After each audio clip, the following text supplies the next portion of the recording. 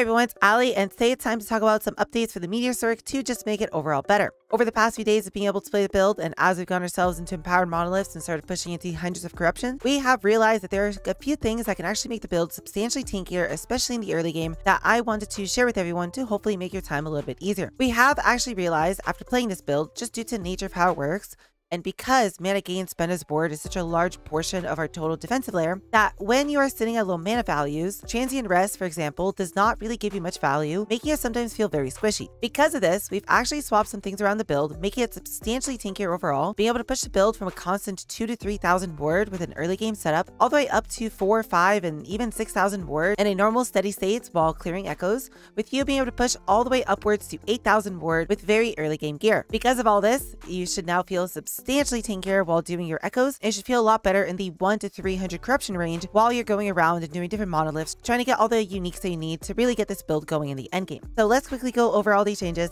and get you on your way of making your build even tankier than it already was. The first thing to mention is going to be the new boots that we're going to be running. Previously, we wanted to get ourselves a pair of transient rest as soon as we can, and while these boots were great because they gave us up to 60% of our current mana as ward, the issue with it, especially at lower mana values, is that that total mana isn't actually that high. Our steady state mana is typically going to be around 50% mana or so, and this is only going to get better as I get more mana. When I was sitting at around 600, 700 mana, I would constantly go oom, but now that I'm sitting at around 1.2 thousand mana, I'm actually finding myself that I have such a big delay between monsters, especially with Wisdom giving me more and more mana regeneration as my mana pool gets bigger, that it's actually very difficult for me to go out of mana in this build unless I specifically spam a lot of meteors at once. And because of this, my transient rests aren't actually really doing much. What we found was that it was actually better to replace your transient rest with a pair of experimental boots that have the ward gained 10 missing mana when you use a traversal skill. This mod actually ends up being just as good as transient rest at around 50% of your mana, with it only actually getting better than transient rest as you push into lower and lower mana values. Because in this build, you're most likely going to be at lower mana values than higher mana values, these boots actually do a lot of work by themselves and you really notice how much more ward they give you.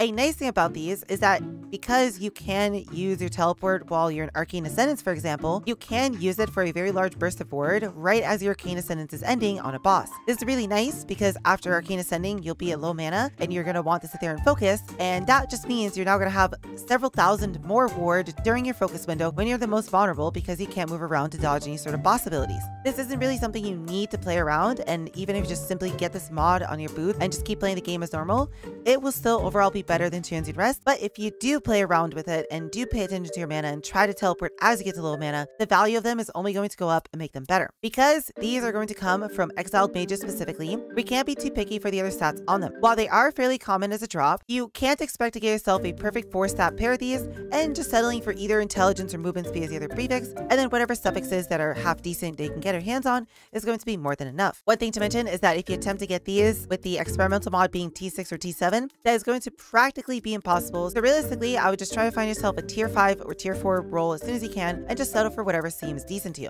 Even a tier 5 roll is pretty good, as at tier 5, it will roll up to 13 per missing mana, meaning that you're going to be gaining 130% of the mana that you're missing as ward when you use them. To go along with the new boots, we are also going to be getting ourselves a new belt. We have been using Harbinger Stars for the past few days, and while it's great, Harbingers of Stars really has some issues that kind of make it a little bit clunky to use. I'm sure if you've already gone the build yourself, you may have noticed the times where it decides just proc five, six, seven times on one pack, massively overkilling it and just completely draining all of your mana. Sometimes this is a little bit frustrating, and it does get better with a bigger mana pool as it tends to not int all of your mana as much, as it will only consume a smaller total portion of your mana when this does happen, but still a little bit of annoying gameplay quirk. And while the up to 18% less damage taken from the mod on it is great, it's not going to always be active, giving you a non-steady state amount of less damage taken, potentially opening you up to damage spikes. Because of this, and because Harbingers is not realistically that important to our build, we are going to be swapping it out for Strand of Souls. Strand of Souls is a belt that literally just says,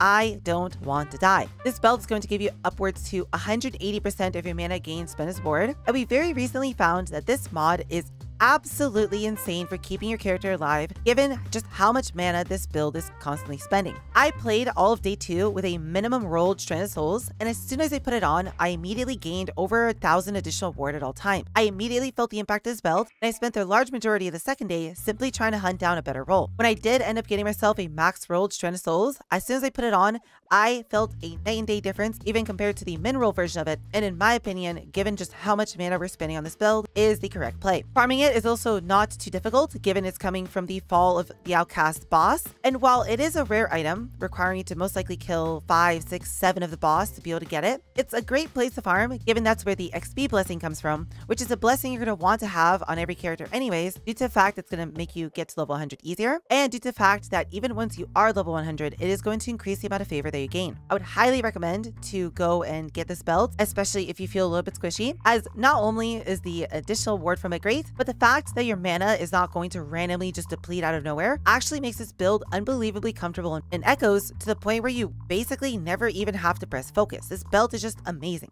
Finally, to sturdy up our defenses, we have a few passive tree changes that we very quickly realize are just substantially better and make the build overall feel a lot more comfier. For focus, we are completely dropping the Burning Aura, Resolute Stance, Prismatic Stance section of the tree, and instead we are repurposing those points, going over to the top left and picking up Mind Shield. This is going to give you upwards to 50% of the mana you gained as ward when you finish channeling focus, giving you a pretty nice burst of focus on top of what you already were having, and honestly, I've kind of liked it a lot more for echoes. For bosses, this doesn't really make that much of a difference because because realistically, if a boss can do some big heavy attack, you're most likely going to have to stop channeling your focus and dodging it anyways. But for echoes, where you're most likely having a few monsters attack you while you are channeling your focus, it does feel really nice to either be able to prematurely end it, giving you the ward, or just getting a really big burst at the end of it. Finally, for teleport, we are going to completely get rid of elemental affinity because it's just 50% generic damage, which is such a small amount of additional damage that you really don't feel it. It was the best thing that I could think of to spend on the skill, and while it's nice, we are instead going to be picking up out of body, which is going to take 9% of your health and give it to you as double that amount in ward, meaning that every time you use teleport, you just gain 18% of your health as ward, which is